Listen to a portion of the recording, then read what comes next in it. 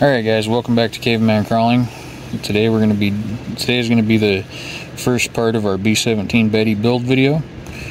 We have some Injora high clearance four links and Injora front tie rods on here. We're going to put it on the course, we're going to run it, see how it runs with the new tie rods and the four links. We'll tell you what's up and then be sure to stay tuned and for on Wednesdays we're going to do B17 Betty build videos if you could like, comment, and subscribe, it helps us out, it keeps us around, and I'd appreciate it.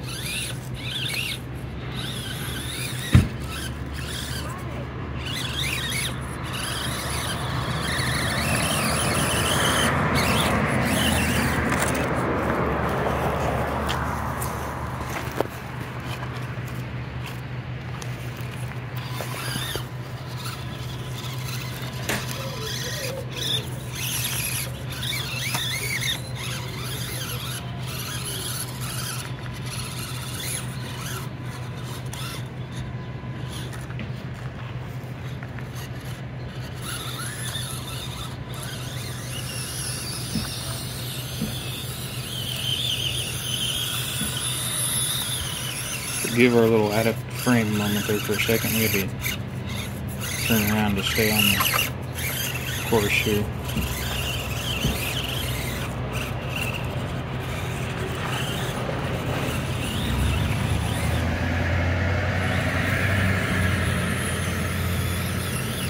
It's running pretty good.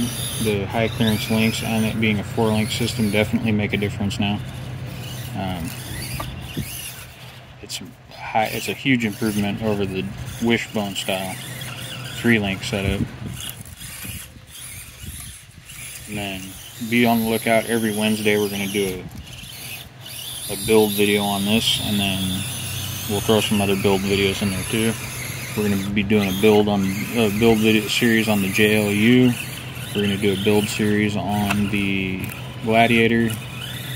We're going to do a couple videos on our comp buggy setup, and then uh, at some point we're going to do an AX24 review. I'm just not sure when yet. Got to find one to get our, get our hands on first. It's definitely crawling better with the four link setup. It's got a lot more flex. Until I flip it over.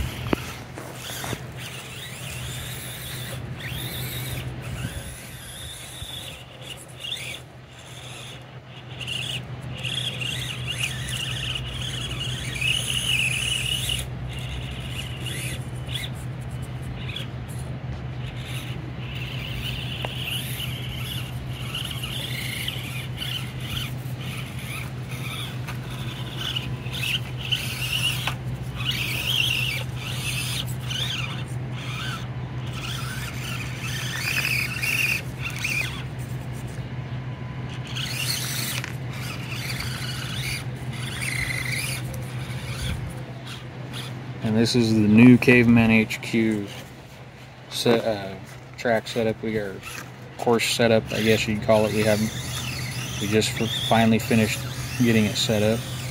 Some of the black rock, some of these big tall, these big pieces of rock are obsidian, and uh, they're definitely slick and pretty tricky to crawl.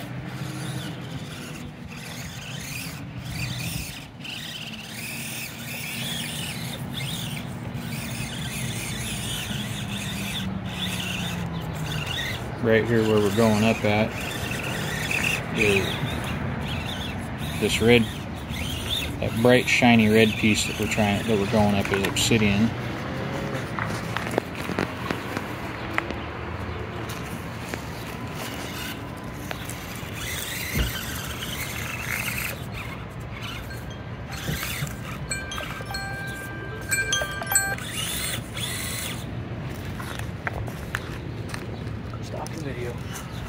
All right, guys, we're back again. We had more technical diff. Well, we had a battery die on us. We had to grab another battery.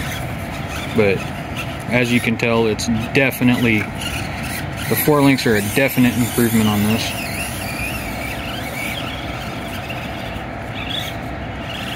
I just kind of suck at crawling today. Um, I guess too many, too much food on the Fourth of July has still got me in a food coma. But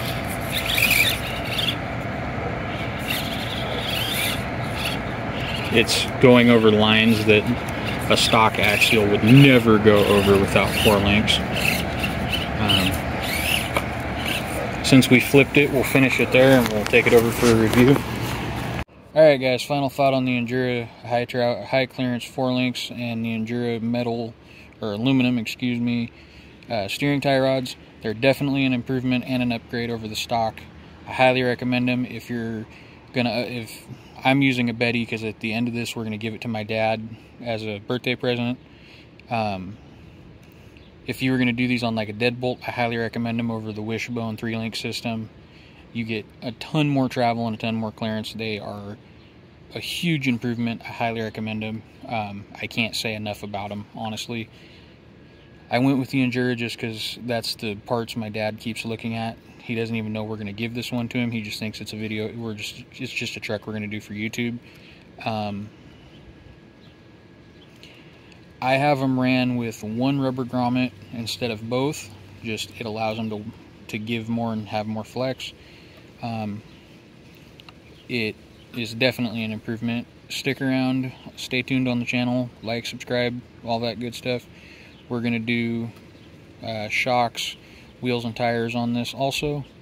And then we'll do a video at the end of all of that where it goes at where we're going to have our other trucks. We're going to do builds as a kind of see who's the king of the mountain of all of them and if you guys could uh,